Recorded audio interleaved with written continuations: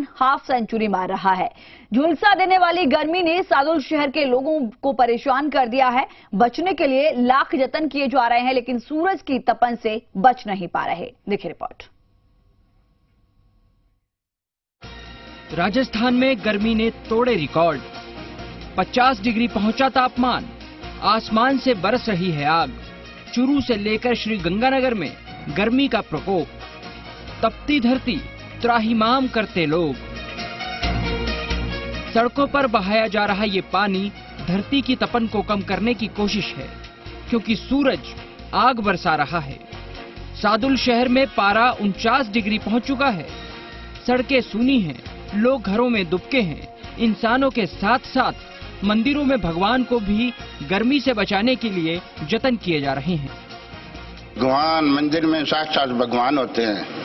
और उनको भी हमारी इतने गर्मी सर्दी का प्रभाव होता है। इसलिए भगवान के लिए पंखे की व्यवस्था की गई है। और सूती वस्त्रों की व्यवस्था की गई है पहनाई गई है। गर्मी की मार से बेजुबान भी परेशान है। कहीं जानवर खुद गर्मी से बचने के लिए रास्ता ढूंढ रहे हैं तो वहीं सादुल शहर में पशुपालक ने फव्वारे लगाकर पशुओं को राहत पहुँचाने की कोशिश की है। गर्मी बहुत ज़्यादा पड़ रही है। तो पशु को बहुत राहत मिल जाती है। पास में चलता है पास में बंद होता है तो सिस्टम लगा रखा है। मौसम विभाग का कहना है कि गर्मी के तेवर अभी ऐसे ही तीखे रहने वाले हैं। वहीं प्रशासन ने भी रेड अलर्ट जारी किया है और स्वास्थ्य विभाग ने लोगों को एहतियात बरतने के लिए निर्देश जारी किए हैं। कि आप जब भी घर से बाहर निकले तो कपड़ा लेकर निकले ज़्यादा पानी पिए तेल की चिकनाई वाली चीज़ें कम खाएँ खाली पेट घर से बाहर ना निकले छतरी का प्रयोग करें। आज तक मैंने इतना टेम्परेचर नहीं देखा जितना कि इस सीज़न के अंदर हम लोग देख पा रहे हैं। गर्मी अपने पूरे शबाब पर है। सूरज का सितम ऐसा है कि हर नज़र पेड़ों की छाया ढूंढ रही है। हर चेहरा झुलसने से बचने की कोशिश कर रहा है। घर से कदम बाहर निकालते ही हलक सूख जाता है। प्रदेश में चल रही इस हीट वेव से फ़िलहाल राहत मिलने की उम्मीद नहीं है। ज़रूरत है इससे बचके रहने की। Kuldeep Goyal, Zee media, Sadul Shahar. Bikaner में भीषण गर्मी का प्रकोप जारी है। इलाके में हाउस अरेस्ट जैसे हालात हो गए हैं। सुबह 10 बजे के बाद से ही सड़कों पर सन्नाटा पसर जाता है। यहाँ रेगिस्तानी इलाकों में तापमान 50 डिग्री के पार जा चुका है। वहीं गर्मी के चलते अस्पतालों में मौसमी बीमारियों के मरीजों की संख्या बढ़ती जा रही है। चूरू, श्रीगंगानगर और बीकानेर में इस साल गर्मी ने पिछले सारे रिकॉर्ड तोड़ दिए हैं।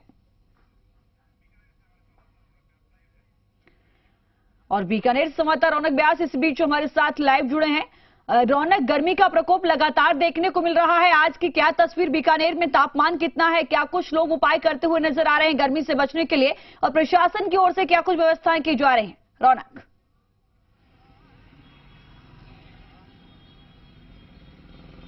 जी, बिल्कुल। देखिए लक्ष्मी, मैं आपको बताऊँ कि एक शब्द है हाउस अरेस्ट यानी इस गर्मी ने पूरी तरह से लोगों को घरों में कैद कर दिया है।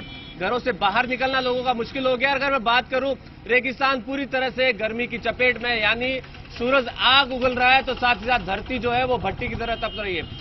पूरी तरह से हाल बेहाल है, बीकानेर संभाग ने इस बार तमाम रिकॉर्ड जो है वो तोड़ दिए। पूरे हिंदुस्तान की बात करूँ तो देश में सबसे ज़्यादा अगर पारा कहीं रिकॉर्ड किया गया है तो गंगानगर, हनुमानगढ़, चूरू और बीकानेर, यानी पूरे संभाग में पारा जो है पचास के करीब और पार भी जा चुका है। हालाँकि गर्मी से बचने के लिए प्रशासन की तरफ़ से जगह जगह पानी के छिड़काव सड़कों पर किए जा रहे हैं, लेकिन वो इस बार नाकाफी नज़र आ रहे हैं। अभी मौजूद हूँ मैं जैसलमेर हाईवे पर। आप देखिए बहुत कम आपको यहाँ पर वाहन नज़र आएँगे। ये अ, वो सड़क है जहाँ पर लोग जो है काफ़ी संख्या में निकलते हैं लेकिन आज की जो आलम है वो कहीं ना कहीं ये तस्वीरें बयां करती है कि लोग बहुत कम जो है सड़कों पर निकले जो लोग मेरे साथ उनसे बात करता हूँ सर गर्मी बहुत है। पारा 48 से पार है बीकानेर और पूरे संभाग की बात करें 50 के करीब पहुँच गया है। क्या कहेंगे किस तरह से बचने की कोशिश कर रहे हैं? बीकानेर संभाग में गर्मी बहुत कारण होने के कारण यहाँ पे आमजन बहुत परेशान है। और यहाँ मैंने पानी की बिल्कुल किल्लत हो चुकी है। इससे मतलब लोग काफ़ी परेशान हो चुके हैं। और अपन इसमें सीधा सीधा मतलब सरकार ही जिम्मेवार है। सरकार जिम्मेवार होने के कारण यहाँ पे एक सौ लीटर पानी मिलना चाहिए आमजन को। वो मिल रहा है, कभी इसका आधा भी नहीं मिल पा रहा है। इससे आमजन बहुत परेशान है। और परेशानी को होने के कारण और बीमारी इतनी फैल रही है कि हद नहीं है। हाउस अरेस्ट जैसे हालात हो गए घरों से निकलना मुश्किल हो गया। किस तरह से बच रहे हैं? आप लोग दिन भर ठंडी चीज़ों का इस्तेमाल कर रहे हैं? पूरे प्रदेश में गर्मी अपने चरम पर है। हमारे 25 शहरों में जो है रेड अलर्ट जारी कर दिया गया परंतु रेड अलर्ट जिलों का जो शहरी जिलों में है उनकी अनुपालना कहीं पर होती दिख नहीं रही है। रेड अलर्ट जिलों के अंदर क्या है कि पानी का छिड़काव और जगह जगह पीने के पानी की व्यवस्था की जानी चाहिए, परंतु एक आधे शहर को छोड़कर कहीं पर भी ये अनुपालना होती दिखाई नहीं दे रही है। और आम जन से मेरी ये अपील रहेगी कि आने वाले पर्यावरण दिवस, यानी परसों जो पाँच जून है, उस पर प्रत्येक नागरिक को एक पेड़ लगाकर आगे से आगे भविष्य के अंदर गर्मी से बचाव का जो परमानेंट इलाज है, वो किया जाना चाहिए। कहीं परेशान हो रहे हैं। आप लोग घरों से निकले। कहीं ना कहीं ये कहा जा रहा है कि इस बार सुबह नहीं हो रही दोपहर हो रही सुबह का पारा ही चालीस बयालीस हो जाता है। जी ज़रूर ज़रूर। घर से निकल नहीं पा रहे हैं। दस बजे के बाद तो निकलना ज़रूर हो गया है। और अभी अस्पतालों में भीड़ है जानलेवा हो रही है गर्मी हमारे लिए।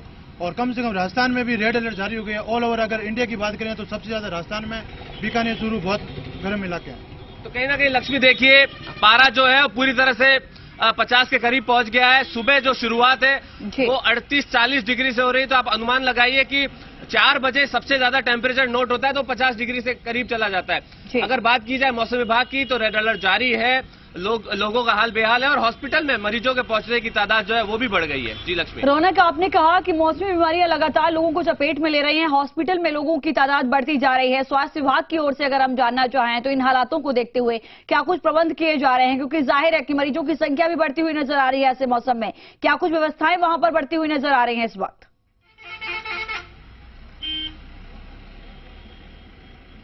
जी, बिल्कुल देखिए, जिस तरह से लगातार मौसम बिगड़ रहा है और गर्मी का तेवर लगातार बढ़ता जा रहा है, उसके चलते स्वास्थ्य विभाग के होश उड़ गए हैं। स्वास्थ्य विभाग खुद ये सोचने में मजबूर है कि आखिर किस तरफ़ जो है वो ध्यान दिया जाए। क्योंकि देखिए, लगातार हॉस्पिटल, क्योंकि बीकानेर संभाग का सबसे बड़ा हॉस्पिटल जो पीबीएम हॉस्पिटल है, उसमें लगातार मरीज़ पहुँच रहे हैं। हीट स्ट्रोक और कहीं ना कहीं जो जो लगातार गर्मी से जो पेशेंट है, वो पहुँच रहे हैं। देखा जाए तो एक खास वार्ड जो है, विशेष वार्ड वहाँ पर बनाया गया ताकि लोगों को और जो मरीज़ है, उनको परेशानी ना हो। लगातार मरीजों की संख्या बढ़ रही है, लेकिन स्वास्थ्य विभाग लगातार अलर्ट कर रहा है कि ज़्यादा से ज़्यादा पानी का इस्तेमाल करे और जो है, इस स्ट्रोक से बच सके। इस तरह की तमाम जो एहतियात बरतने की जो बात है, वो सामने निकल के आ रही है। जी। बहुत शुक्रिया, रौनक व्यास, पूरी बातचीत